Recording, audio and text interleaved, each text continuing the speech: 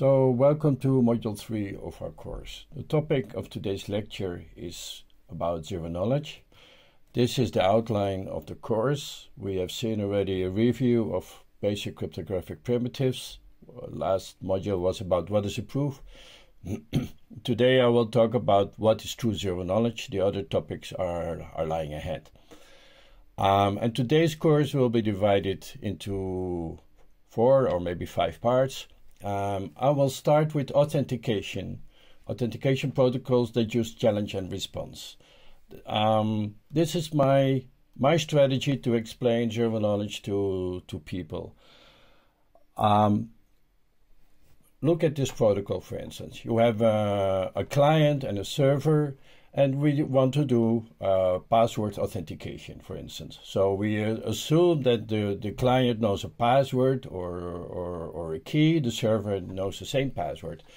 But we want to avoid that the password itself goes over the over the internet. So one of the things that, that you could do is that the the server, in this case, the verifier, sends a challenge and it's an implicit uh, request like please encrypt the challenge. So the prover takes the challenge C, uses the, the key K, and produces the response R, and the verifier is going to verify if this is okay.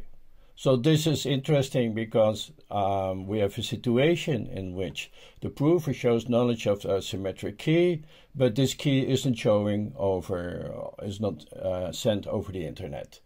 Note that this is a form of unilateral authentication. The, the server is verifying the client, but it's not the other way around.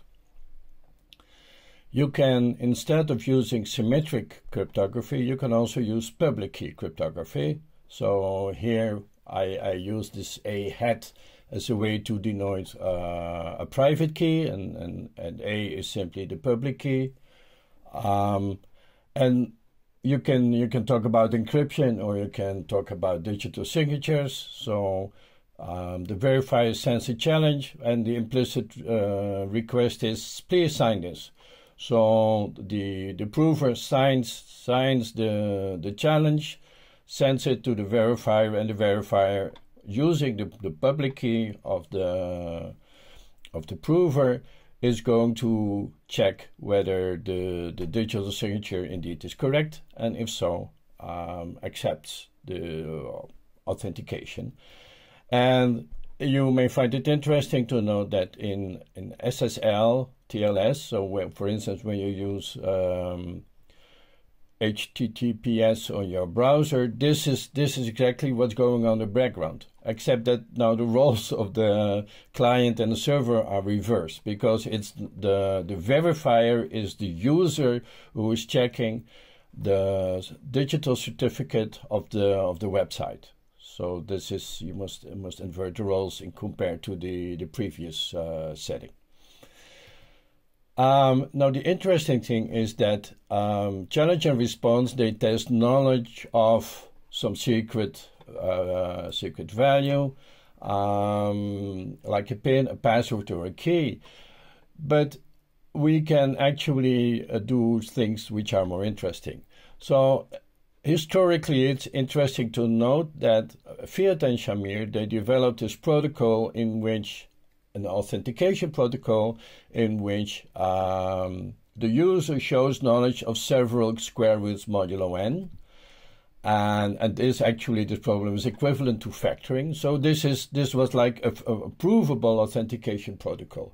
And also, so this is the, the original Fiat Shamir identification protocol, and this is exactly the context in which the Fiat Shamir heuristic, the Fiat Shamiristic, uh, the, the Fiat Shamir transform appeared for the first time.